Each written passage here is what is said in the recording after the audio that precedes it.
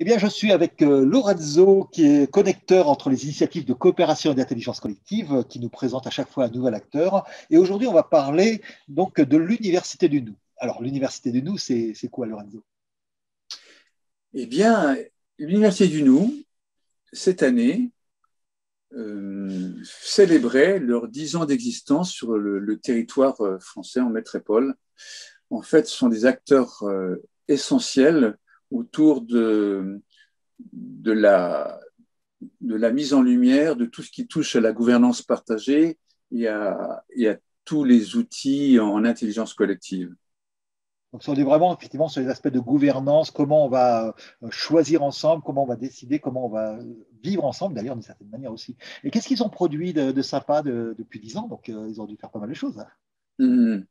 Eh bien, ils ont eu l'occasion, euh, avec euh, la, collaboration des colibris, de mettre en place le MOOC, gouvernance partagée, qui a été euh, visionné par dizaines de milliers de personnes, que je sache. Et à la suite de ça, eh bien, il y a même une structure qui s'est mise en place qui s'appelle les jardinières du Nou, où les personnes se rencontrent dans un mode pair à pair. D'ailleurs, là, d'ici à peine une dizaine de jours, il y a à nouveau le campus, le troisième campus des Jardiniers du Nou euh, en Ariège, qui euh, dure pendant trois ou quatre jours.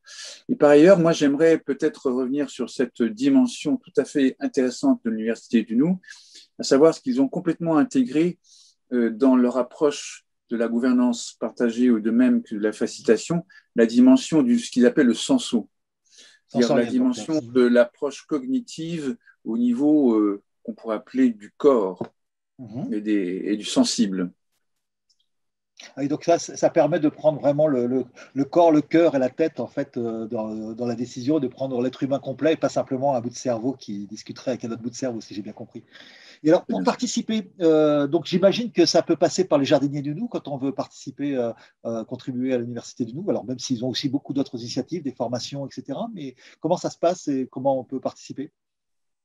Les jardiniers du Nou, en fait, c'est un réseau qui est ouvert surtout pour les personnes qui ont déjà participé ou qui sont eux-mêmes participés au MOOC, en gouvernance partagée, ou qui sont eux-mêmes déjà dans une approche de, la facilitation. Après, l'Université du Nou, effectivement, offre des ateliers, des stages de formation autour de toutes ces différentes thématiques que je viens d'évoquer, gouvernance partagée, facilitation, etc. Eh merci Lorenzo et rendez-vous pour une prochaine vidéo avec euh, à, chaque fois un nouvel acteur. Fort bien.